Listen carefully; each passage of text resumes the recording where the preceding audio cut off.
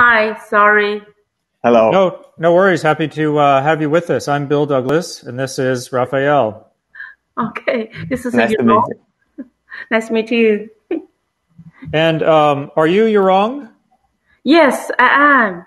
Hi, Yurong. Nice to meet you. It's too early here in New York. Yes, exactly. I'm still dreaming. it is. I feel the same way. Um, yeah, I was just telling uh, Rafael. He's he's kind of the fortunate one. You know, he's in Europe, so he's right in the middle. Yeah, Lucky me. yeah. It's take me a while to get this wrong award. It's not easy to access. yeah yeah yeah yeah exactly uh, i had to go through it a couple times before i felt more more comfortable with it um, so you know i don't know if if anyone else will be uh, will be joining us um, i'm thinking probably not even though you know i had hoped that we could all all be here but we'll keep an eye out. And Okay. in, in the meantime the three of us might as well uh, just get acquainted and talk about you know especially i you know i just wanted to kind of make sure i'm addressing everyone correctly on the on the meeting. Um, uh, Yurong. You go by your first name? Is that okay? Yes. okay. Um, i go by bill. Rafael goes by rafael Yep. um, and then just thought i'd you know uh, uh, maybe jump into it since we're a little uh, behind our schedule now find out uh, just talk about what we want to talk about on the call. You know uh, it's it's rather you know pretty good timing for this uh, for this topic you know given that uh, if i can uh, you know call it that R- the RCEP asia's new trade pact has just you know has just you know come out of the gate basically two days ago so Uh-huh. you know that's going to kind of be on everyone's minds i think and that's a good sort of uh, uh, Absolutely. meaty uh, strong topic for us to uh, for us to address I hear Rafael Green. What do you think? You're wrong. Yeah. Yeah, yeah, yeah. I think Yeah. so. It's, uh, but we don't know. We don't know what is next, right? So I think this is a good topic to discuss about that. You know, Yeah, it's crazy time. Yeah, So what is the globalization? Uh, what type of the pictures in next step? What, what, you know, I think we need to talk about it. good, good. Yeah. Um, Yurong. You're you're in New York, and uh, which uh, place in East Asia are you from originally? Uh, Beijing, China. You're from Beijing. Okay, great. So you great. Uh, you bring uh, Yeah. you know a, a, a good perspective uh, Yeah. to the discussion. And you know, um, everyone's tired of hearing about uh, about about the coronavirus, um, but you know, I do think that has some bearing here because it also is sort of helping to, is, is is sort of uh, realigning some um, uh, some some some powers worldwide in a, in a sense to some degree, right? Uh, you know, I think obviously the virus is still raging in, in the U.S. terribly so. It's still raging uh, in some European capitals, um, and it's still going strong in India. Uh, but elsewhere in Asia, particularly East Asia, uh, China, and I think uh, to some degree South Korea, both of them have uh, rebounded. Um, And, Viet- and Vietnam. Vietnam. Vietnam too. Okay. Yeah. Okay. Eh, very interesting. Okay, so really, even uh, a country that's much further, beh- that's you know a bit a bit uh, further behind in terms of development, they're doing uh, they've they brought it under control, doing quite well. Is Actually, right, actually, China and Vietnam will probably be uh, the only one, the only two, let's say, uh, significant economies that we we will have a positive growth in the GDP this year. Amazing. I don't think I don't think South Korea will have it, but Vietnam will. Okay. Yeah. Amazing. Do you have any? Does either of you have any sense of uh, Singapore and have they turned a corner and are doing well again? I'm not sure about that. Okay, I'll, I'll look into that. Yeah. Yeah, Singapore is uh, because Singapore economy where they come from is from I think uh, global, right? Uh, International enterprises uh, they are like a, kind of like a center. I think with this situation, it's hard to yeah. Okay. Yeah. And let's see. We have we won't have a lot of time on the on the discussion, assuming that that all of us, you know, uh, are able to make it. We'll have 45 minutes. Um, so we have those two those two topics: RCEP, Yep. uh, COVID's effect on economies, uh, and globalization. Any other uh, any other ideas or suggestions for topics that you'd you'd like to cover? Well, I don't know if we should we should really answer the question, right? It's it's like why Asia Yeah. is a champion. Uh, No, I that's mean, a good if, point. if if we if we really want to answer that, it's gonna Mm-hmm. it's gonna take long. uh, I mean, you know, we need to go back to uh, history. So I, I don't know. Maybe we can we can mention some some uh, specific uh, features that Asians have in common, if if that can be addressed. Okay, but uh, in general terms, coming from the Asian tigers and Japan, and then China, and then ASEAN is, is a little bit like the the, the path that the Asia has been following, uh, basically attracting the FDI, right, and and doing cheap cheap exports in the first uh, stages of the uh, growth, right? Right. So maybe we can mention something about that. Yeah. No, no, absolutely. I, I agree. Uh, that's uh, that's a good topic, and, and clearly we want to uh, be sure that we're addressing the, you know, the question that's posed. And also, if Um, we if we have any Indian in in in the group, I'm not sure about that. Uh, Yeah, we do. We do. Yeah, yeah. Sudhir Sharma, I, I, I just joined, so I'm sure he'll be engaged. Great. So uh, yeah, we should mention that India India just stepped out one year ago of the RCEP, right? Mm-hmm. So uh, we can analyze that too because India is relevant, of course. Yeah, there's sort of that's India has come up a lot in discussion in, in coverage of the RCEP, just saying listing them along with the U.S. as sort of almost like the the you know the phrase that's used is like the losers of the deal, right? The ones who are kind of left out and not uh, participating. Um, But it was their own decision, as far as I know, right? yeah, yeah, yeah, and and I, I wonder. I have to look into that. Is that because of this uh, inc- border incident uh, eh, with, in the Himalayas with China and I think it's- animosity? I think it's two, in my opinion, two reasons why they are quite afraid of being uh, flooded with Chinese products. That's one. hmm And the second one is clearly geopolitics, of course. Yeah, yeah, yeah, yeah. It's like Pakistan is in the uh, China side, clearly. So India doesn't want to go in that boat. They prefer to let's let's say stick with the U.S. So it's kind of yeah these two sides uh, uh, position. Yeah. Yeah, yeah. Okay. Um, good.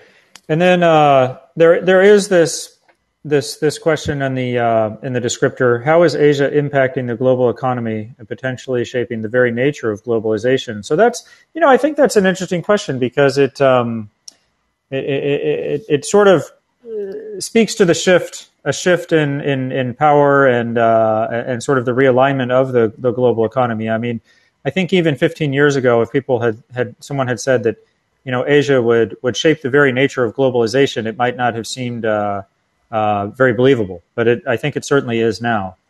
Um, any any comments on that?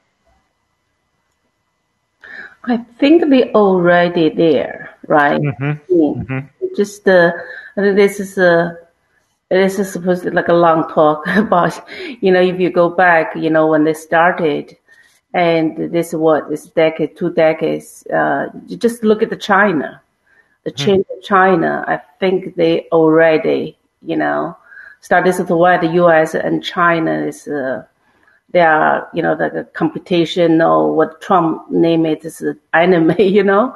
And it's- I think this is the one big concern right? It's because China is uh, really influence the globalization or influence you know the the development in Africa or in some other regions or you know Asia Pacific. So yeah I, I, I think it's you know it's it's it's shaping the global globalization or global world or economic culture in many aspects. So it's a Yeah, I think I think uh, we should mention here about the WTO, right?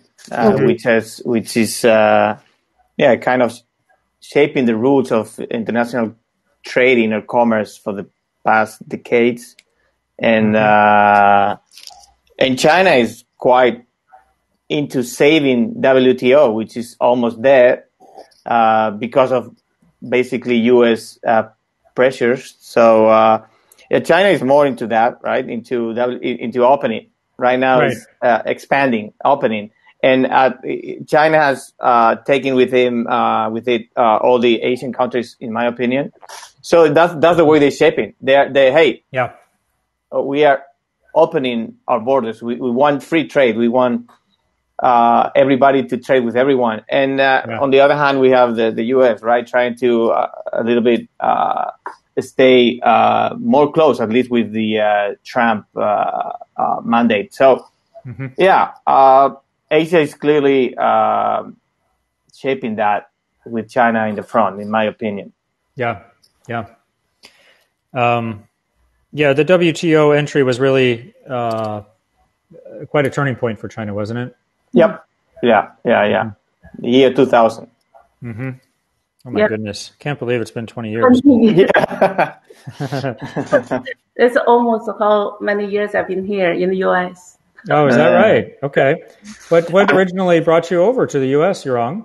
I was actually, you know, uh, it's to I came to the U.S. I went to Cornell uh, to get um, my my MBA. So this Excellent. is 1996, actually 1996. Oh wow! Then I was studying for one semester, and then, then I got uh, I was looking for part time job, and then I got a full time job. You know, work for Pall Corporation.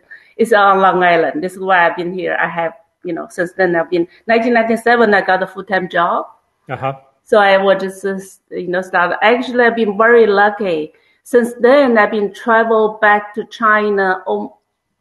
It's uh, like at least five trips a year. Oh my goodness. yeah. Yeah, this is like a, this time. I, I came back from uh, China last September. This is like the longest time. You know, I have mm. not been back China wow, amazing. For these three years. So yeah, yeah. yeah. oh, that's great. That's great. Well, very lucky. Actually, I experience, I see China how they changes. You know, every time I go yeah. back and I travel around China, you yeah. know, business development, uh, marketing job, and I just see how China changing. You know, so quickly. So I don't know, efficiently. I think. Mm-hmm. Yeah, it's, it's, really quite quite phenomenal. Yeah. Uh, yeah. As I mentioned to Rafael, um, my first trip to China was as a young boy back in 1984. Mm-hmm. Um, and then I did a lot of work there in the 90 in the 1990s, especially in the late 90s. So uh, uh, it, it's uh, changed more than you know really any any country in the in, in world history. I think it's safe to say. Yeah. Um, Okay, well, I think we have some uh, some good topics here. You know, uh, just like with yeah. any other panel, I want to to, to open it. Uh, you know, I'll briefly introduce myself, and then I want to give each of you uh, a chance to introduce yourselves and, and kind of give your bio, talk about yourself a little bit, mm. um, and then you know, um, my role here, obviously, as a moderator, is just to kind of set the table and uh, and and cue these uh, these these meaty topics up for up for discussion. Mm-hmm. So, you know, by all means, between now and uh, Monday, uh, November 30th, when we have our, our, our, discussion, you know, let's keep the lines of communication open. By all means, if you have, if something pops up in the news that you want to uh, uh, highlight, or, you know, if there's a topic that comes up to your mind that you'd like to discuss, uh, let me know and I'll kind of put it in, uh, in the agenda. And I'll, I'll circle, I'll circulate a document before just to, to everyone, just so we can, you know, uh, have that. And if there are any changes or anything, you know, by all means, let me know. Okay, that's great. And you know, uh, you tell me. Uh, you know, obviously, it's just the three of us here on this uh, here on this planning call. I had hoped that that everyone could make it. So, out of six of us, only three of us are here. Um, we could try to you know reschedule and have another another call. I mean, I'm going to let Frank know uh, that it was you know half of the half of the panel was here on the other hand, Yurong. You know, it's it's uh, these calls are a bit on the early side for the two of us. um, so, you know, what, what do you think? Do you, would you like to try to uh, reschedule a planning call with a bigger group, or just uh, I'll orient them by email and we dive straight in on Monday the thirtieth? I, I, think, in my opinion, I mean, I don't care if you if you if you if you want to do it, just do it. Uh, okay. But um, I mean, it, it would it wouldn't be nice for you to wake up early another day, right? Uh, or, or maybe we can we can stick with the same timing of the real meeting on the 30th. Uh, I don't know, uh, but for me, it's not necessary. Uh, I think we can keep it online. I mean, emails or something. Mm-hmm. That, yeah, know. I think maybe we can exchange emails to say you know, and from your side is uh, like at least uh, you know what is uh, like possible the questions. Yeah. We'll okay. ask each of us. You know, we can prepare. Right? Okay, good. Yeah, I'll put that together Yeah. and I'll uh, I'll send that along for sure. Yeah. In that, you know, we can before the our you know call and we can prepare. You know, we can exchange the email information. You know, we don't have Mhm. to put the phone. So Okay. Okay. That sounds it's hard great. to put up. You know that these days because of the COVID, we work from home all the time. Yeah, we're all home. We're all on video all the time anyway. Yeah, Rafael and I were chatting about that Right. before. Yeah. So, um, uh, okay. Well, great. Uh, well, it's great to uh, get acquainted with both of you. Yeah, thank you, Bill. Um, like I said, I'll I'll pass that along, uh, and we'll continue the discussion on on email. And um, I think Excellent. that uh, I think that's good for our, for our planning call. Thank you both very much. Mm. Thank you, Bill. Thank, you, you. Yurong. Thank you. Thank you. Okay. Take care. Okay. Bye bye. Bye bye. Bye bye.